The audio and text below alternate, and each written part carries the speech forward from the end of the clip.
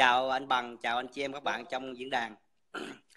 Nói về à, cái thời chế độ cũ, nếu mà nói vậy thì mình đi ngược qua cái thời pháp. Thì anh bằng là thấy đó, thực dân pháp sang việt nam mình, đã nói rằng cái thằng thực dân mà, nó sang việt nam mình nó lấy không à. Nó xây những cái tòa nhà, những cái công trình toàn để phục vụ quyền lợi của thực dân pháp không? Xong rồi nó lấy chiến tranh, nuôi chiến tranh nó dựng lên một cái đám mà gọi là tá điền.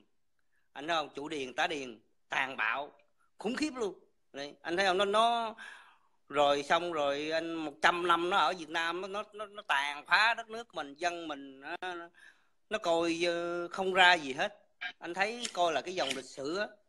Tụi thực dân pháp nó sang Việt Nam nó coi dân mình gần như là không có ra gì hết giống như tụi Mỹ trắng nó coi người dân da đa, da đen hồi xưa. Dạ. nô lệ vậy đó anh thấy không nó còn vâng. nó, nó thể nói là nó tồi tệ hơn nữa nó còn tồi hơn nữa Đấy. rồi khi Mỹ sang Mỹ tưởng đâu là ngon hơn thì dựng lên cái chế độ uh, bù nhìn miền Nam thì có gì đâu Mỹ toàn là viện trợ không à toàn là ăn viện trợ của Mỹ Mỹ thấy máy bay uh, dục xuống cho ăn không? Cái này thì tôi xuyên tạc. Cái cái đó hiện này thì tôi nào tôi nói tôi xuyên tạc thì tôi xuyên tạc nha. Cái mà tôi nói máy bay thảy cho ăn cái đó là tôi chọc uh, mấy thằng ba que nói chung thì chẳng có được ông thiệu mỹ cắt viện trợ xong ông thiệu khóc miếu máu. Đúng Mỹ phải năn nỉ uh, Nixon, Johnson rồi uh, viện trợ thêm Mỹ nói no đủ rồi mệt mỏi rồi chịu hết nổi rồi ăn không mà ăn ăn chọc đầu Mỹ luôn. Mỹ chịu không nổi. Hỏi anh chứ cái miền Nam mấy ổng gọi là hòn ngọc uh, cái hai cái hòn của mấy ổng á. Cái, cái thằng Mỹ nó bỏ chạy hai cái hòn nó cũng chạy theo luôn. Cái này tôi xuyên tạc nha. Tôi phái tôi phái chọc mấy cái tên bao que giỏ lá à, anh bằng. Dạ. ngày nào mà tôi mà không chọc tôi nói là tôi ăn cơm không được. Không biết sao. Tôi thấy tụi nó là tôi ghét à không biết sao kỳ. Bởi vì lúc nào nó cũng khoe hòn ngọc diễn đông. Uh, trước 75 Việt Nam ngon lắm. Anh nhìn trước 75 cái miền Nam bao nhiêu triệu người. Người thưa thì đất rộng nhà sàn vâng. nhà lá chụp chụp anh, lệ lệ. anh lợi binh đang ở bên mỹ đang nói chuyện với tôi. Vâng. À, anh thấy lời ở, ở, ở, ở, ở, ở thành phố Hồ Chí Minh bây giờ đó nhìn lại cái dòng thời gian mà trước năm 75 coi ở trong đô thị thôi ở trong nó gọi là nội thành thôi. Anh mới có cuộc sống xa hoa phồn thịnh nhưng mà phải là người có chức có quyền. Phải là giống như kiểu bây giờ ờ, kiểu là gọi là con sĩ quan con gia đình ngụy sĩ quan. Đấy. đi thì được đi xe jeep xe jeep hồi đó anh biết được đi xe jeep mà đưa, đưa đón á, thì ngon lắm. Còn mấy ông sĩ quan thì năm thê bảy thiếp à, nhà cửa thì thôi thôi. Mấy ổng đi lính mà về hả? Đem bơ đem sữa về mà đồ hộp ăn hả? Mà xíu luôn. Gia đình mà sĩ quan coi như là rồi bạn đức tân chờ chút là hơi bị ngon. Đấy. Rồi sống hỏi anh chứ cả cái miền nam. Chẳng có cái gì hết trơn á. Những thành phần đó nó sống dựa vào viện trợ của mỹ thôi. Mỹ cút rồi, rồi rút rồi làm cha con của mấy uh, mấy ổng coi như là loạn cào cào lên hết. Hỏi anh chứ miền nam sụp liền cái hòn ngọc viễn đông nó chỉ mượn cái danh là cái gì?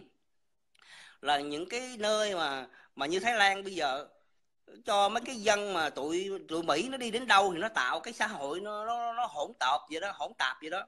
Nó, dạ, nó tạo ra những khu chơi đàn điếm giống như ở Las Vegas anh thấy không? Đấy giống như Mỹ nó có Las Vegas vậy đó. Nó đi đến đâu nó tạo những cái nơi mà ăn chơi đỉ điếm rồi đủ mọi thành phần đủ kiểu đủ cả hết đó, rồi mấy ông mình nó mới gọi là hòn ngọc viễn đông nơi ăn chơi của tụi nó mà.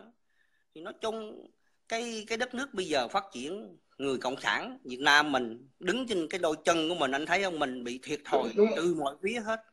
Bị Mỹ và đồng minh chơi mình một cái nhiều cú rất là đau. Nhưng mà mình cũng phải gọi là ngậm đắng nuốt cay để đặng mà để đặng vươn lên. Đất nước ngày hôm nay anh nhìn thấy cái cái sự ờ, đổi mới của đất nước ngày hôm nay chỉ trong vòng mới có 20 dạ. năm thôi mà Trung Quốc nó nhìn thấy nó còn phải nó còn phải nể. Những cái nước dạ. láng giềng mà nó nhìn thấy nó còn phải nể. Ngay cả tụi kinh tế gia của Mỹ mà nó còn bình anh ờ, anh là binh em ngắt lời một tí xíu bây giờ ví dụ mình cũng muốn biết là cái Việt Nam Cộng Hòa ngày xưa có phát triển hay không thì mình nhìn vào ngay các con số của ngân hàng World Bank người ta đưa ra. Tức là năm 1974 ấy tức là thu nhập bình quân đầu người ở cái chế độ ngụy Sài Gòn mới là 54 USD trên một người mà trong khi đó ở Campuchia là 77 USD trên một người. Anh thấy không? Thế nhưng mình chỉ đưa những con số này thôi mới biết cái nội lực. Tức là Việt Nam Đấy. Hòa ngày ngày xưa người ta chỉ có nhờ vào cái viện trợ thôi còn nội lực kinh tế của người ta là không có một gì không có. Nói Không. chung cái miền Nam chẳng có gì chân á. Ruộng đồng thì chiến Dạ. tranh loạn lạc khỏi anh chứ. ờ, bom đạn ờ, pháo kích từ xe tăng đồ này kia nó cừ càng quét tối ngày. Tại vì mấy mấy ông ngụy mấy ông dùng cái những cái chiêu đó gọi là bình định hóa mà nông thôn bình định hóa là mấy ông sẽ tàn phá nông thôn mà. Mục tiêu của Vâng. mấy ông là tàn phá nông thôn để đặng mà không- có lương thực để đặng nuôi c- cán bộ nuôi những người cách mạng mà. Thì làm sao mà mà canh tác được người miền Nam? Còn nếu mà nói mà chiến tranh không làm ăn được đó thường đó những cái quốc gia mà bị chiến tranh đó là chịu nhiều thiệt thòi đau khổ nhất. Nhưng đối với mấy cái bọn mà đế quốc mấy cái bọn mà nước lớn đó chiến tranh tụi nó tụi nó làm giàu. Tại sao thằng mỹ nó giàu là bởi hai cuộc chiến tranh thế giới thứ nhất và thứ nhì? Nó bán súng ống. Lúc đó mà những công ty mà sản xuất xe hơi đó nó quay ra nó sản xuất toàn là xe tăng ờ, uh, xiết giáp rồi toàn là, là hạng nặng không à. Nó làm giàu.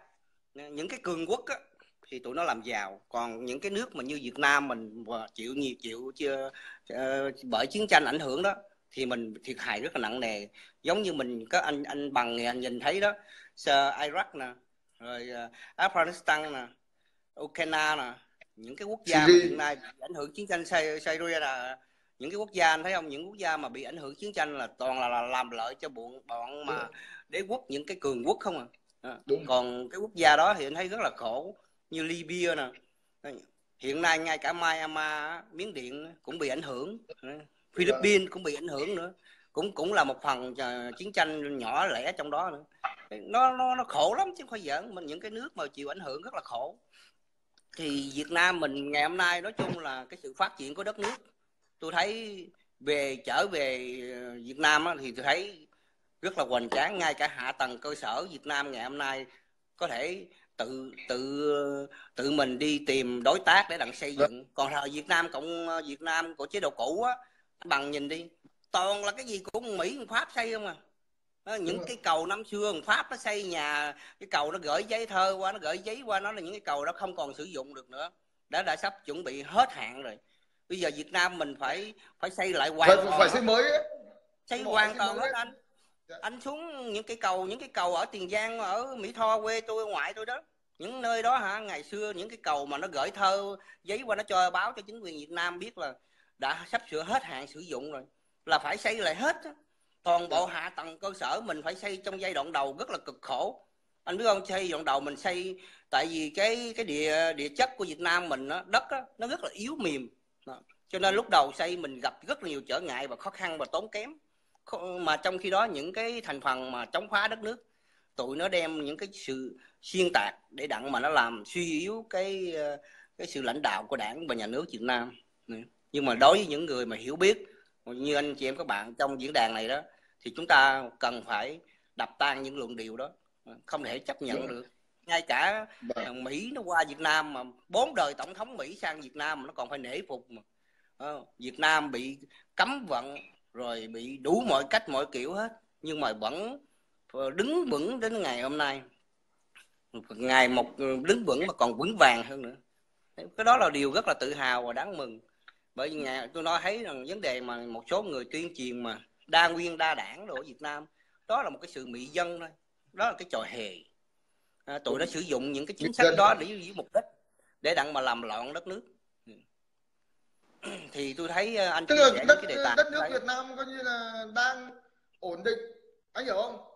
Dạ. hiện nay đang ổn định đang phát triển như thế này thì là bây giờ ví dụ đang đang nguyên đa đảng làm cái gì? Tức là mình chỉ Đúng rồi. nói vậy thôi. Làm loạn lên chứ làm gì? Anh hỏi giờ đa nguyên đa đảng đảng nào? Toàn là mấy cái đảng nồi cháo heo không à. mấy cái đảng mà, mà ch- chẳng ra cái giống ôn gì hết. Chống bốn ba năm chống ra cái ôn- không cái ôn ôn đách gì hết chống mà, mà hãy người ta mà nói nói ngược lại ý của mình người ta không không nói theo mình á. Lên trên mạng thì ra ngoài đời cũng vậy hô hào tự do dân chủ nhân quyền. Khi người ta nói lên những cái mặt trái khi người ta phản biện lại thì bắt đầu kéo nhau như bầy chó điên. Ờ, kéo nhau càng như một lũ chó hùa điên khùng lên. Đã đạo là anh chống sức lại mạnh vâng xin, xin, xin lỗi anh Lục Minh này này ví dụ như lúc tối này tôi vào kênh của con Phi Hằng ấy tức là cái kênh đấy toàn có bọn dân chủ với bọn ờ, chống cộng cực đoan kia mình chỉ có mang một hai câu rất lịch sự. Mà ở trên đấy người ta có mang người ta chửi tục chửi bậy. Chứ mình cứ nói này thế văn hóa của các bạn chỉ cần văn hóa của các bạn như thế mà các bạn đòi lật đổ đảng cộng sản thì các bạn bao giờ các bạn lật đổ được đúng không? Cho nên là mình nhìn vào một cái diễn đàn nào đó mình phải biết cái văn hóa của họ như thế nào. Trên cái diễn đàn toàn chửi bậy chửi tục chửi hết đảng cộng sản nhưng mà chửi rất bậy rồi chửi bắc hồ. Dùng những câu rất bậy. Ví dụ như bản thân tôi tôi thật ra minh là lợi minh như thế này. Bản thân chúng tôi chẳng hạn rất căm thù ông diệm ông nhu ông cảnh hoặc là ông thiệu chẳng hạn. Nhưng đến bây giờ chúng tôi có bao giờ có chửi có cái thằng diệm có cái nọ cái kia đâu hoặc cái thằng thiệu cái nọ kia anh anh hiểu không? Lúc tức đúng rồi. nói câu thẳng thôi. Chứ còn ngoài ra thì chúng tôi những người đã mất rồi mà chúng tôi thôi cũng tôn trọng. Lịch sử là lịch sử anh ạ chứ bây giờ người ta ấy rồi chứ mình moi lên cái chuyện đấy theo theo theo tôi nghĩ là nó cũng không được hay lắm mà không được văn hóa lắm. Vâng xin mời anh. Tôi ghét nhất là mấy cái thành phần mà mà mà chống phá đất nước đem người quá cố ra rồi photoshop và làm hình đồ này kia chế nhiễu á, nó rất là tồi bại.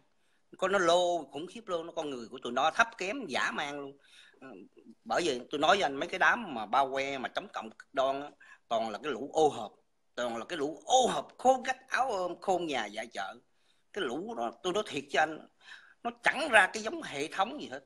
Ngay cả tụi nó sống ở trên đất mỹ cũng vậy không có ra một hệ thống gì hết. Còn ở trong nước á, thì cái ăn theo. Ờ, nó gửi về cho vài trăm đô. Ờ, rồi cái ăn theo không? Ăn theo rồi cuối cùng cũng có được gì đâu. Cuối cùng cũng lao vào lao lý thôi rồi trả cái giá. Tôi thấy rất rất rất là đáng tiếc cho những cái hạng người như vậy nhưng mà đất nước Việt Nam mình đã và đang đổi mới. Tôi rất là tin tưởng vào vai trò lãnh đạo của đảng và nhà nước Việt Nam hiện nay anh anh bằng. Tôi thấy là với vai trò mà gọi là niềm tin chiến lược đối ngoại và đối nội rất là vững vàng. Tôi nói với anh vững vàng hơn bao gì hết. Các thế lực mà phản động thù địch rồi tụi nó tuyên truyền và chống phá tôi thấy không làm lung lay được. Không có làm lung lay nổi mà mà tụi nó lại càng làm thì làm cho đảng cộng sản việt nam càng vững vàng và mạnh hơn hơn không thể tưởng tượng nổi. Đấy. Anh thấy vai trò lãnh đạo của đảng việt nam là đi từng bước một. Từ cái chính sách ờ, đối với uh, trong nước và đối với những các quốc gia lớn mình ngoại giao từng bước một phải nói rất là tuyệt vời tạo ra một cái nền kinh tế ngày một vững mạnh hơn. Anh thấy trong cái thời kỳ mà kinh tế toàn cầu suy sụp đó, Việt Nam mình đâu có ảnh hưởng bao nhiêu đâu.